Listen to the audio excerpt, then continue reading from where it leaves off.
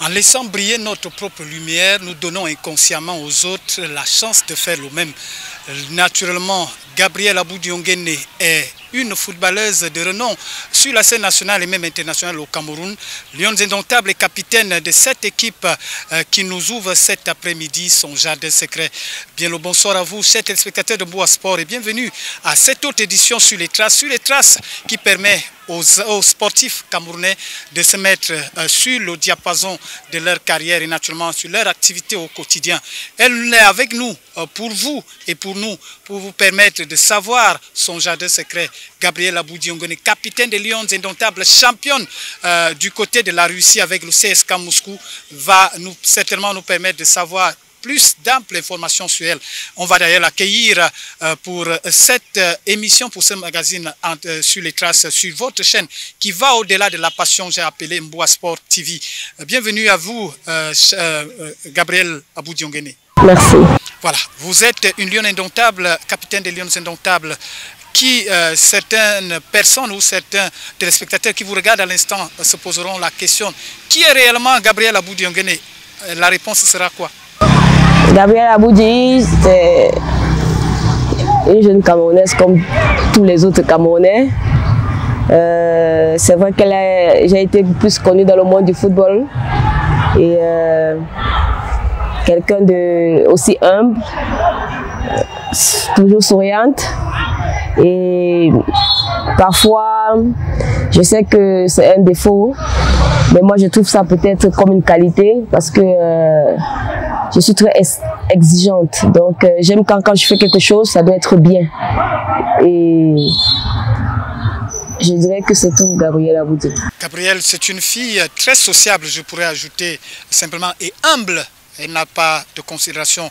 Vous pouvez l'apercevoir avec vous sur ce plateau, sur cette télévision Bois TV. Elle nous a accordé cet entretien pour en savoir euh, plein de choses, plein de choses sur elle. Et on va naturellement commencer, Gabriel, si vous le permettez. Vous aviez choisi de pratiquer le football. C'est l'opium du peuple camerounais, c'est le, sport majeur, s'il faut le dire ainsi. Comment commence la carrière et l'envie d'évoluer dans le football euh, euh, au Cameroun? Je dirais que euh, je suis né à Douala, grandi à Douala et euh, je jouais au quartier. Vous savez, à l'époque, euh, il n'y avait pas de centre de formation comme le fait maintenant ma consoeur Gaëlle Nganamout pour des filles. Donc moi, je, je me retrouvais tous les 16 heures au quartier pour jouer avec les garçons. Et c'est de là que un monsieur m'avait abordé Feu Ibrahim, il m'a dit écoute ma fille, il y a une équipe de, filles qui s'entraîne à la base Elf. Et je me suis retrouvée là-bas, c'était un Gonding Kam de Yabassi. Et je n'avais pas vraiment le temps pour euh, aller tous les jours à l'entraînement. Parce que vous savez, nous sommes des femmes et à la maison, maman c'était l'école, après cuisine, après. Donc c'était difficile. Je pouvais en une semaine avoir peut-être trois séances d'entraînement le mercredi, le jeudi et le vendredi. Parfois, on jouait le samedi, donc c'était comme ça. Et j'ai joué pratiquement six mois, j'ai pas fait, j'ai pas mis long. J'ai fait six mois dans cette équipe. Euh, je me suis retrouvée du côté de Yaoundé où, chaque année on organisait un tournoi national qui regroupait les dix meilleures équipes de toute la région, de toute de, du Cameroun et je me retrouve en train de jouer. Et après c'est le canon le feu Marc Atarna qui me qui m'aborde et euh, je ne vais pas trop entrer dans les détails. Je me retrouve en train de l'année qui suivait évoluer au canon de Yaoundé. Je fais pratiquement euh, 4 à 5 ans. Et après je je signe à Louf Prof Louf Prof je gagne euh, je crois je crois trois titres de champion et quatre coupes du Cameroun. Oui, cette année-là, avec le canon. Et puis je me retrouve du côté de Louf Prof, où je fais pareil. En cinq ans, quatre titres de, de champion et trois titres de coupe du Cameroun. Et puis en 2015, je me retrouve à, à aller euh, à la Coupe du Monde en tant qu'amateur. Et lorsque je dis aux gens, je disais aux gens que je joue au Cameroun, on ne me croyait pas. Et c'est comme ça que mon, Mais ma première sélection date de 2008. 2008 avec l'équipe senior on vous a quand même vu avec le Canon, c'est une équipe qui vous a beaucoup marqué et beaucoup de personnes restent euh, en mémoire avec cette, cette joueuse qui allait, on l'appelait petite voiture de ce côté-là. Racontez-nous un peu votre épopée dans le Canon. Euh, je dirais que j'allais tellement vite et, et j'avais jamais un maillot à ma taille. On m'appelait euh, petit moustique, j'avais tous les petits noms, petites parce que j'étais parfois obligée de plier mon choix à quatre pour pouvoir euh, entrer dans le maillot. On m'appelait parfois Nounouang, donc euh, moustique, oui, petite voiture. J'ai eu tous les petits noms, quoi, Starlet. Donc, et le canon, c'était vraiment la famille. C'est devenu la famille, c'était vraiment mon équipe de cœur. C'était une équipe, c'est l'équipe qui m'a qui m'a ouvert euh, les portes aussi à la sélection. sélection nationale. Voilà, on parle de, cette sélection aujourd'hui. Vous êtes la capitaine de cette équipe nationale. Parlez-nous un peu euh, de votre euh, entrée dans cette équipe. Et naturellement, en 2015, vous disputez la Coupe du Monde. C'est l'exploit et le football féminin est dans son diapason. je dirais que mon entrée à l'équipe nationale, c'est 2000, euh, je, dis, je peux dire 2006. Je joue un match des éliminatoires, mais je participe pas à la Coupe d'Afrique 2006. Euh, je fais mon entrée réellement en 2008, où je participe à ma première Coupe d'Afrique. 2011, euh, nous allons, 2011, nous allons aux Jeux africains, nous remportons l'or, puis nous allons aux Jeux olympiques 2011, puis 2012, ma deuxième Coupe d'Afrique,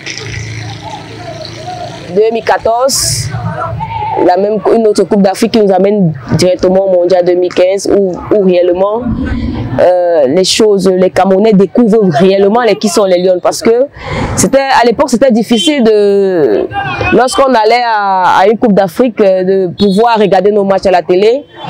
Quand la SAT vient informer les Lions jouent ce soir et puis tu attends encore euh, peut-être une heure après pour voir le résultat. Ils ont gagné. Il n'y avait pas de retransmission. C'était vraiment difficile. Et je dirais que c'est vraiment en 2015 que les Camerounais découvrent les Lions indomptables. Et les Camerounais découvrent les Lions indomptables au deuxième match de la Coupe du Monde parce que au premier match, on ne croyait pas trop, quoi. C'est lorsque, et les matchs se jouaient tard. Lorsque le lendemain, se réveille, on dit les Lions ont gagné 6-0. On se dit 6-0 c'est là où les Camerounais commencent à veiller au deuxième match pour pouvoir euh, voir ces lions-là. Et c'est là où l'équipe nationale décolle. Et même le football féminin, ce n'est pas seulement l'équipe nationale du Cameroun, parce que vous aviez euh, monté une autre image aux yeux des Camerounais, ceux qui avaient encore euh, un, scepticisme par rapport au football féminin. On découvre, on était dans des marchés on découvrait, même les Bayam Salam étaient euh, supportrices des Lions indomptables. C'est une période délicate et très importante pour l'arrimage du football féminin au Cameroun aujourd'hui. Satisfait de la prestation d'ailleurs vécu pendant cette période de la Coupe du Monde du Canada Ouais, et lorsque nous rentrons de là, nous, sommes éliminés en huitième de finale, mais lorsqu'on arrive au Cameroun, on avait l'impression d'avoir été les demi-finales. La finale La finale. Est-ce que c'était une finale et, et après, on se retrouve à la Cannes 2016, la meilleure de toutes les Cannes que j'ai jouées de toute ma carrière. Euh, on retrouve euh, un Cameroun euh, qui avait des petits problèmes, mais lors de notre Coupe d'Afrique, ces problèmes ont été oubliés au moins pour deux semaines. Euh, j'ai encore dans ma tête l'image de la finale, le 3 décembre. À 8h du matin, quand je me réveille, j'allume la télé, le stade est plein. Jamais vu Jamais vu. Je dis jamais vu. Je me suis réveillée le matin. Quand je me réveille le matin, je fais ma prière. Parfois, j'allume pour regarder un peu les informations. Je vois un film. Les gens sont assis au stade à 8 h du matin. Je vous assure que perdre cette finale, ça a été un moment vraiment euh, très difficile. J'ai eu du mal à avaler cette, cette pilule. Parce que euh, vous pouvez encore perdre une finale, mais quand vous sentez que vous pouvez l'avoir, c'est vraiment difficile. Et je crois que c'est encore à cette période où nous avons encore donné l'envie aux Camerounais d'aimer le football féminin. On, l'a d'ailleurs vu avec euh, cette demi-finale. Euh, vous aviez disputé ici à Yaoundé. Le jour de la finale, c'est le petit X, c'était simplement la, défaite en finale. Mais le football euh, féminin est resté au, diapason. Vous, personnellement, pendant cette période, pendant cette canne, pendant cette Coupe du Monde de 2015, vous aviez montré avec des coéquipières qui vous ont mis, on a toujours vu à de qui se donnait à fond. Euh, votre carrière a-t-elle pris un coup pendant ces deux compétitions, la Coupe du Monde au Canada et naturellement la Coupe d'Afrique de 2015 euh, Je crois que jusqu'à présent, je peux, vous, je peux vous dire que mon club, euh, honnêtement, n'aime pas quand je viens à l'équipe nationale. Parce qu'ils disent toujours que quand j'arrive ici, je, je, m'épuise énormément. Et quand je reviens, moi, je, je, je, veux seulement jouer pour mon pays. Parce que quand je reviens, je suis diminuée. Et cette année, ils ont été vraiment très contents, comme il y a eu le corona, parce qu'ils savaient que sans corona, on devait avoir des matchs amicaux, on devait, avoir, on devait préparer notre match contre le Chili, on devait avoir des déplacements. Et je peux vous assurer, c'est ils ont, ils ont, ils n'aiment pas quand je, viens. Parce qu'ils disent que je m'épuise énormément. Et quand je reviens, je reviens vers eux avec les petits restes. Donc, euh, moi, jouer pour l'équipe nationale, c'est comme, euh, je sais pas, l'équipe nationale, c'est je ne sais pas s'il y a un mot qui peut décrire ce que je ressens. C'est la raison pour laquelle quand j'arrive en équipe nationale, je me donne à fond. Et, naturellement, le peuple camerounais et l'ensemble des responsables en charge du football féminin et football au Cameroun on se sont naturellement assignés à vous confier euh, la tâche de leader de cette équipe. Hein. Euh, désormais, vous êtes la capitaine des Lions Indomptables. cette reconnaissance vous va, droit au cœur, vous va droit au cœur, naturellement, avec euh, ces performances, ces prouesses, ces prestations, cette détermination et cette bravoure que vous donnez à chaque fois que vous êtes sur le terrain. Satisfaite aussi de cette reconnaissance au niveau de l'équipe nationale euh, Écoutez, moi je pense que porter le brassard, pour moi, il n'y a rien d'étrange. J'ai toujours été leader dans cette équipe. J'ai toujours été... Pour moi, je pense qu'un capitaine, c'est pas seulement celui qui, porte le brassard. Même à l'époque de Bela, Françoise, qui était capitaine, je gérais déjà cette équipe. Parce que Bela, moi, j'ai joué au Cameroun. Et Bela arrivait parfois, comme moi, j'arrive maintenant à 3-4 jours d'un match. Par contre, à l'époque, on faisait les deux semaines, trois semaines de stage. C'est moi qui gérais l'équipe. Et pareil, quand euh, Mani Christine était capitaine, on gérait l'équipe à deux. Donc pour moi, je peux dire, ce qui a changé, c'est maintenant, c'est je, je, le mets maintenant juste au bras. Mais rien n'a changé, rien n'a changé. Et je sais beaucoup de, de Camerounais qui parfois sur moi par ma façon de... Moi, je suis quelqu'un qui n'aime pas perdre je suis quelqu'un qui n'aime pas perdre, donc euh, parfois ça peut je peux me retrouver en train de m'emporter parce que je me dis, si l'équipe tombe, on va me rendre, on va me demander des comptes.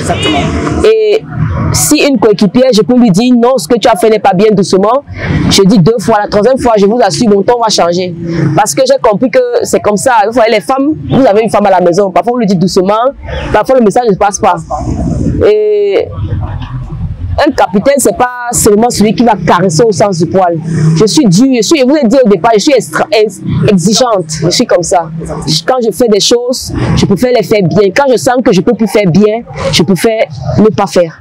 Donc, euh, je, je suis aujourd'hui, lorsque nous jouons des matchs en Fandina, je vous assure, le stade est plein. Les, les Camerounais aiment le football féminin. Et je sais que d'ici deux ans ou trois ans, le football en général sera au féminin. On, peut le conseiller sur un bout sport. D'ailleurs, on a pris cette, ce pan-là de promouvoir ce football féminin parce que c'est la crème de demain. Et on, a constaté, vous aviez évolué avec euh, de nombreuses joueuses euh, de footballeuses. Euh, et aujourd'hui, vous êtes capitaine, vous êtes toujours en, en activité. Quelles sont les joueuses qui vous ont marqué euh, euh, pendant votre, dans, dans, cette tanière? On sait que vous aviez évolué presque avec toutes les, les catégories. Je dirais, moi, je ne peux pas vous dire que telle chose ne m'a pas marqué ou telle, parce que le football c'est un sport collectif et on est appelé à, à ce on a appelé à la complémentarité. Ce que je ne peux pas avoir, vous pouvez l'avoir. Donc, euh, beaucoup de choses m'ont marqué. Je, je suis très contente de jouer. J'ai été très contente de jouer peut-être avec euh, Bula Françoise, Mani Christine. Parce que Mani, c'était quelqu'un, c'était, on dit capitaine courage. C'est quelqu'un qui ne parlait pas quand elle avait le brassard, mais c'est moi qui parlais. Elle était, mais elle, elle était plus, euh, elle avait un autre domaine. Parce que c'est ça, vous ne pouvez pas avoir quelqu'un qui a tout. Ça me, je, je, suis contente de jouer actuellement avec euh, celle qui nous met encore plus de joie au cœur. Je suis contente de la voir aujourd'hui. Nous avons commencé tout ensemble en 2008. Et c'est vrai, elle a pris du temps à, à arriver, mais aujourd'hui, quand je la vois, je suis vraiment contente d'elle. Parce qu'elle a compris que pour réussir, il faut travailler. C'est le travail. D'accord. On va sortir de cet entretien. Euh, on parle de votre carrière professionnelle aujourd'hui, champion du CSK Moscou. Vous aviez certainement des ambitions. Est-ce que vous allez rester dans le club? Est-ce que vous allez changer de club? Parce que vous continuez de briller de plus belle à, à, à l'étranger. Je dirais que euh, j'avais un contrat de deux ans. C'est vrai que il y a eu des propositions, mais c'est un peu trop bloqué. Les, clauses sont vraiment très élevées. Donc, euh, l'option, c'est soit je, finis la deuxième année, parce qu'une euh, équipe qui me veut doit payer cette énorme cette somme qui est vraiment très énorme. Et pour le moment, je suis reste joueuse de CSK et je crois que s'il y a des changements, vous le saurez. Voilà, un dernier message, si vous donnez aux téléspectateurs qui vous regardent, vous êtes une icône du football féminin, ce sera lequel? Euh, D'abord, la finale, c'est le 26. Je vous, je vous invite à venir supporter vos jeunes sœurs. Euh, à mes jeunes sœurs, le seul travail pour réussir, le, le seul secret pour réussir, c'est le travail. Si je suis restée constante depuis 5-6 ans, c'est pas la magie, c'est le travail. Donc, euh, on peut s'amuser, on peut faire ci, mais il faut beaucoup travailler et faire beaucoup de sacrifices. Merci à vous, chers téléspectateurs. Vous l'aviez certainement compris avec Gabriel Abouldi Ongene qui nous a accordé euh, son jardin secret cet après-midi. On vous remercie en espérant vous retrouver dans nos prochaines éditions. Merci à vous. Au revoir.